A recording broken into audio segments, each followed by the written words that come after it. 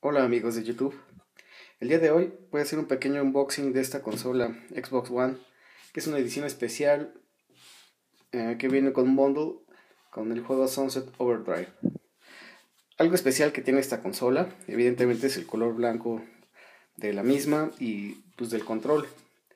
Cabe mencionar que es muy bonita, la verdad a mí nada más por el puro color de, de esta consola fue que me animé por ella. Yo tenía mis dudas de, hacerme un Xbox One hasta que vi esta edición. De este lado de la caja podemos ver que cómo es el control, el diseño. Se ve muy bien los contrastes entre eh, blanco y negro en el control. Muy bonito. En la parte posterior de la caja vemos arte con respecto al juego, Sunset Overdrive, que que pues, ha recibido buenas críticas este juego eh, pues varios medios. Esta parte de la caja vemos el contenido que viene dentro de ella puede ser obviamente la consola el control la descarga del juego esta es una versión pues descargarlo del juego. Me hubiera gustado que fuera la versión física. No soy muy fan de tener acumulados juegos en el disco duro pero pues así es.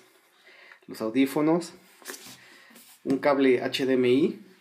A mí me sorprende cómo le tomó una generación a las compañías entender eso, que nos deben dar un cable HDMI. En las versiones anteriores del 360 y en la generación anterior, quiero decir, en 360 y el Play 3, las consolas no traían este cable y lo cual pues a mí me parecía un tanto ridículo. Tiene eh, pues una tarjeta inalámbrica, garantía y un disco duro de 500 GB.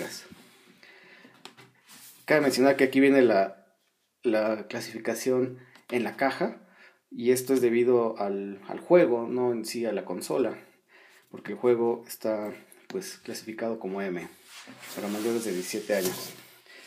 Pues sin más,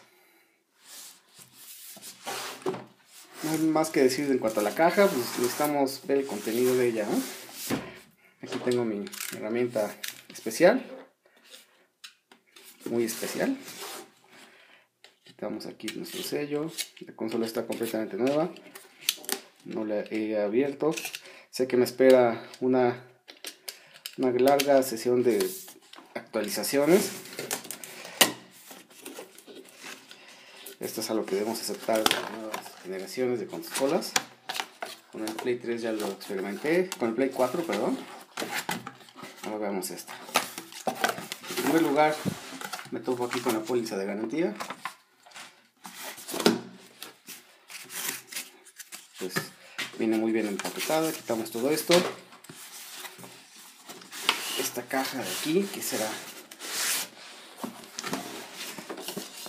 voy a hacer un lado. Y esto de aquí podemos ver que es la consola en sí.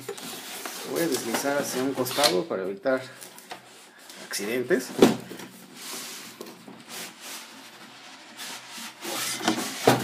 Y nos deshacemos de esta caja. Solo estorba. Quitamos nuestras empaques. ¿Listo? Cabe mencionar que la consola se siente pesada, ¿eh? Más pesada de lo que hubiera esperado. No tanto como el primer Xbox, ese era gigantesco. Y aquí está la consola. Wow. Está muy bonita, ¿eh? La verdad. En este tono blanco. Muy bonita la consola. Aquí vemos la entrada para los, para los discos Blu-ray. De este lado vemos un puerto USB. Este botón que es para sincronizar los controles inalámbricos de la consola. En la parte posterior, eh, pues el conector de corriente, la, el HDMI de salida y de entrada.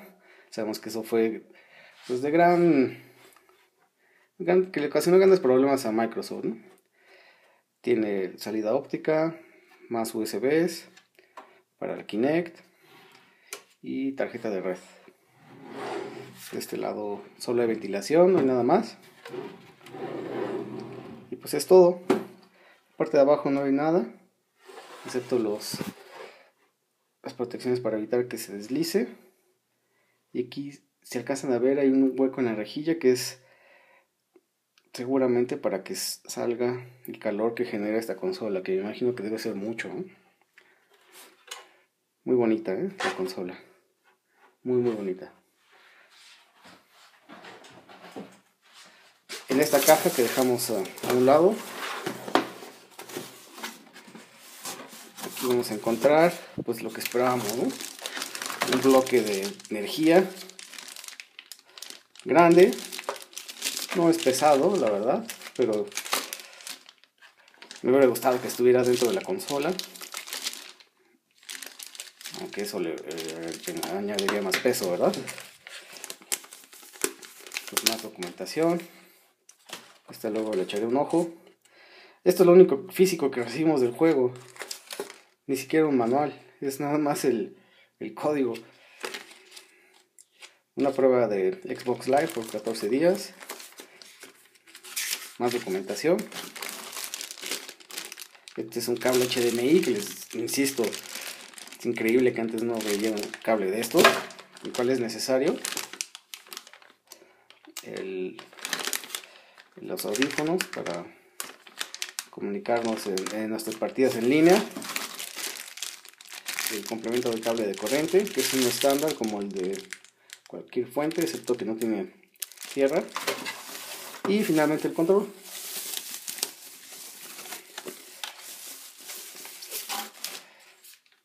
Qué bonito está el control, ¿eh? Debo decirlo. Me encanta este contraste negro con, blanco, se ve muy bonito. Y la verdad, se siente muy bien. Si lo comparo con el Play 4, el Play 4 fue una, una gran, un gran avance en, en los controles DualShock sin embargo, creo, desde mi punto de vista, que los controles de Xbox son bastante más cómodos. Y, este se siente así. Ya veremos en el juego si esto se mantiene. Pero así parece. Y pues es todo. Esta versión no lo mencioné anteriormente, pero ustedes ya se dieron cuenta que, que no trae Kinect, lo cual es para mí un alivio, porque el Kinect pues es algo que yo no voy a utilizar de ninguna manera. Por las razones que quieran, Yo no lo voy a usar. Y pues qué bueno que no viene. Y pues eso sería todo por hoy. Gracias por ver el video. Hasta pronto.